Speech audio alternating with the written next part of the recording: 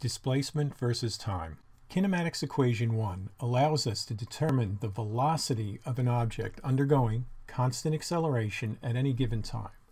We will now develop equations to determine the displacement of an object undergoing constant acceleration at any given time.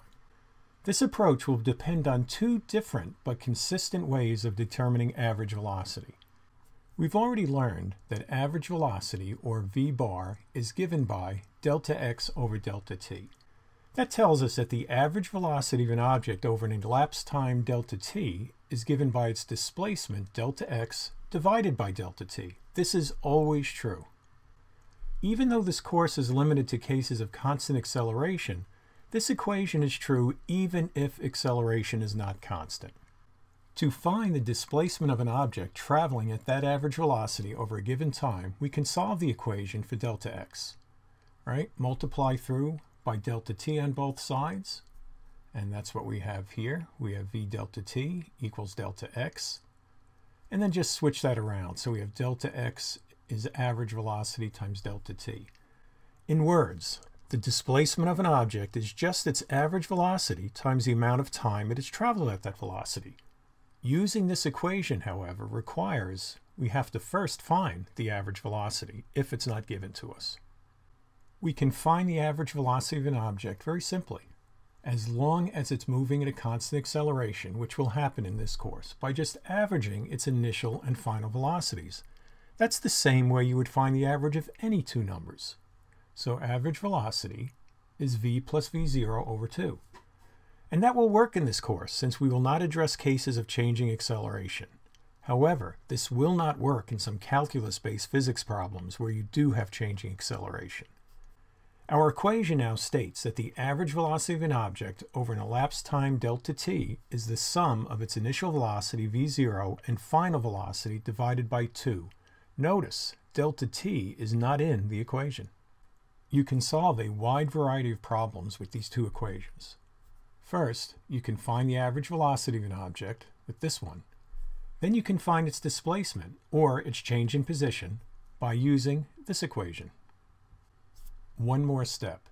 These two equations can be combined to skip the middle step of determining the average velocity before determining the displacement over time. Just set them equal to each other, right? They both equal the average velocity. Solve for delta x, and finally, Assume that t0 is equal to 0. That's a pretty typical assumption. We start the clock at time equals 0. That means delta t will equal t. So here we bring this one down here, delta x over t, and here's v plus v0 over 2. Set them equal to each other. First thing, multiply both sides by delta t. That clears the delta t on the left side. And then we replace delta t with just t. So here's our final working equation here. An object constantly accelerates from rest to 5 meters per second in 8 seconds. What was its average velocity? How far did it travel? As always, we list our givens. And again, rest means your initial velocity is 0. And then here's our final velocity. Here's our time. So we'll use the two equations. We won't put them together just yet. Our average velocity is v plus v0 over 2, so that's 5 plus 0 divided by 2, and we get an average velocity of 2.5 meters per second. Then we use our second equation, and we plug in 2.5 meters per second for the average velocity, multiplied by the time, which is 8 seconds, and then we get 20 meters for our travel, or our displacement, or our change in position, all the same thing. An object accelerates from rest to a velocity of 18 meters per second. How far will it have moved after 9 seconds? We start with our givens, and again we started at rest, so that's code for v0 is 0 meters per second. We use our displacement equation right here. So here's our final velocity, here's our initial, divide that by 2, multiply by the elapsed time, and we get 81 meters. An object accelerates from rest. After accelerating for 12 seconds, it has traveled 240 meters. What is its velocity at that time? An object accelerates from rest. After accelerating for 12 seconds, it has traveled 240 meters. What is its velocity at that time? So we'll be using the displacement equation, and The first thing you do, we always say solve it algebraically. The one exception to that is if there are any terms that are equal to zero, get rid of them right away.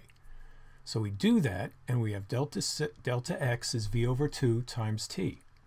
Now we want to solve for v. Multiply both sides by 2, and then divide through by t, and then flip left to right. So we have v is 2 delta x over t. Finally, we can substitute in the givens right at the very end, and we get 40 meters per second.